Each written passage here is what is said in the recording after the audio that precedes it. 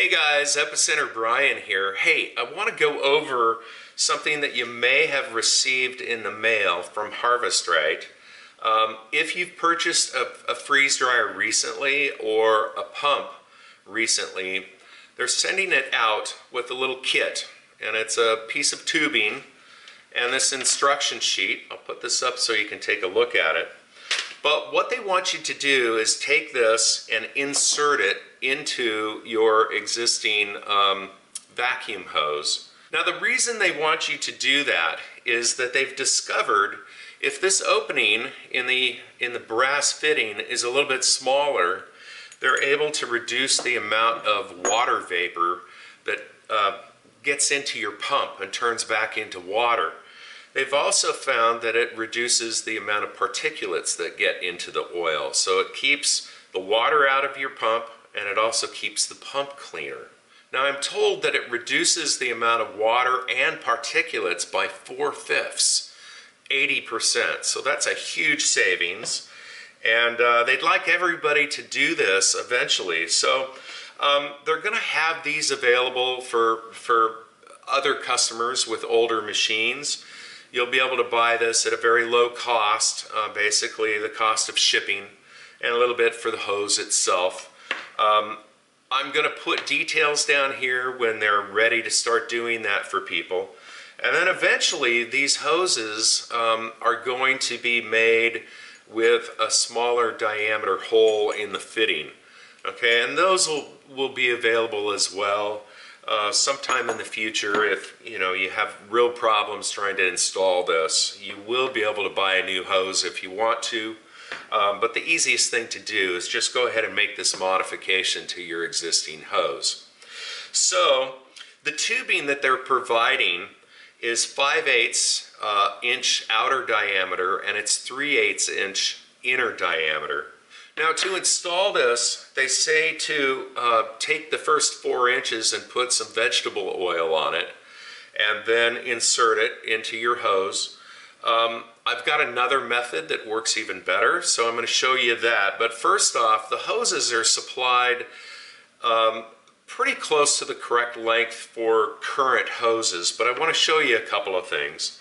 Okay, this is a fairly recent hose. This is one that's about three years old.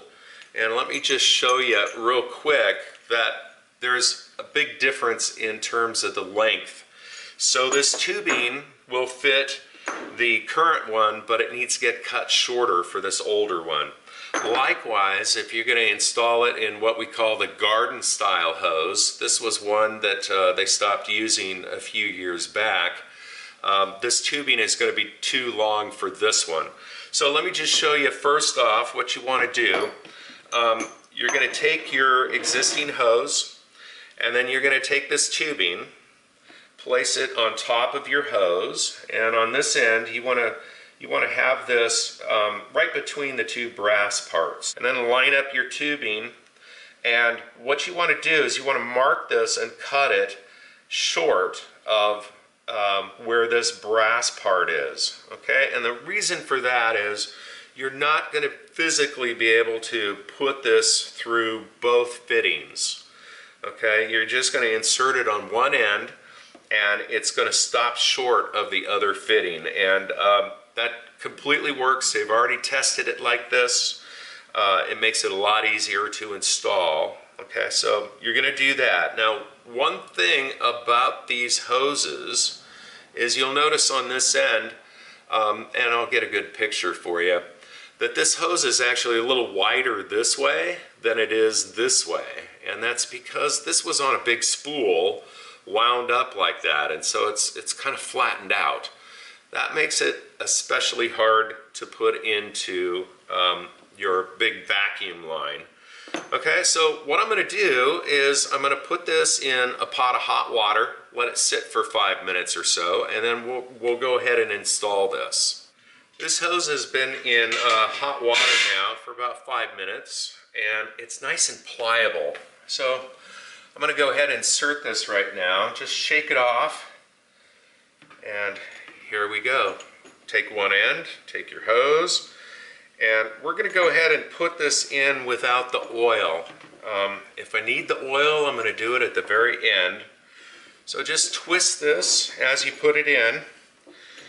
And at some point it'll be a little easier if you can straighten your hose out. So I'm just going to go ahead and keep doing this and we'll time lapse it.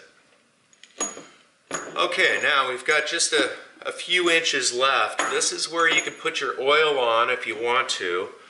Um, I've got some here on a little Q-tip and I'm going to put it down near the, uh, the fitting itself so that I've still got some area that doesn't have oil on it um, that I can grip on. So here we go. And the last little part goes in super easy. Take your finger and just give it a little shove.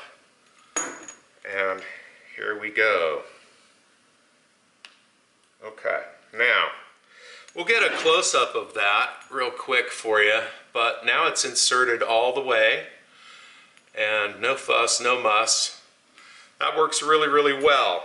If you're thinking you want to do this right away, um, let me just say a couple of things. You know, you can find hose like this at Home Depot as an example. This is 5 8 outer diameter, 3 8 inner diameter. And you would think that this would work. Um, I can tell you that you can get this in about an inch and then forget it. You, you can't twist this, you can't do anything with it. It's because the outer diameter is actually bigger than 5 eighths by a little bit, and it's very, very stiff stuff. Okay, now you can certainly find half inch outer diameter, and this goes in really easy, but it really doesn't take up enough space Okay, um, that's the common size, half inch outer diameter or 5 eighths outer diameter. Um, and I did actually get some other 5 eighths from a, from a hose specialty shop. Um, and I thought this was going to be pretty close. Again, it's very stiff stuff. And it is actually 5 eighths on the money. I can go in about 6 inches and then forget it. Can't, can't do that anymore. So um, before Harvest Right sent these hoses to me, and to tell the truth, I didn't know they were sending them. I went ahead and I ordered some um, some hose online. Now this is 9 sixteenths, so it's actually a sixteenth of an inch smaller, um, and provides a 32nd of an inch all the way around in terms of clearance. Now let me show you how nice this works. Boom. No, no heating, no oil, nothing. And uh, on this one, I was actually able to put it all the way through both ends. So on this end, you see it's hit where the brass is. And here's a little trick. A Sharpie is the perfect size. You can just put this inside of the hose and move it slightly to the correct location and then from the other end, see this? I can just push this and here we go. Bingo.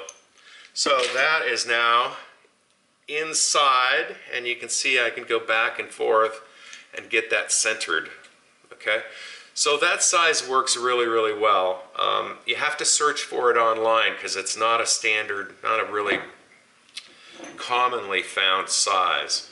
So if you want to do that, 9 sixteenths outer diameter, 3 eighths inner diameter, and this is just standard PVC food grade uh, hosing. All right, well that's about it. Hope that tip helped you guys figure out how to install that hose. And like I said, these are going to be available from Harvest Right um, shortly. I'm not sure exactly when, so I'll update the comments as soon as I know for sure. And like I said, they are going to be making uh, all future hoses like this, the JIC connectors, will be made with a 3 8 inch diameter hole in them. And those will be available um, to purchase if you really want to replace the hose. But this, this little retrofit is um, very simple to do and uh, definitely do it. I'm doing it to all my hoses. All right, that's it for the epicenter.com. I'm Epicenter Bryan, signing out.